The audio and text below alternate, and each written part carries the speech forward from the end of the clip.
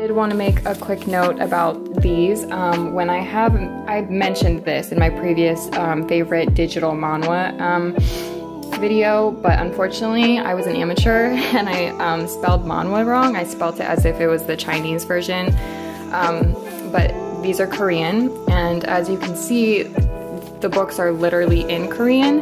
It's not English, but um, by far out of the digital manhwas that I've read, like this art style was one of my favorites. It was beautiful, so I really wanted to get this, even if it was um, in a different language, um, because I don't know if you can tell, like the art style is just beautiful. Like I admire the art style so much, and um, I just figured like I would collect them. I hope that they'll come out in English. I'll honestly collect the English version as well.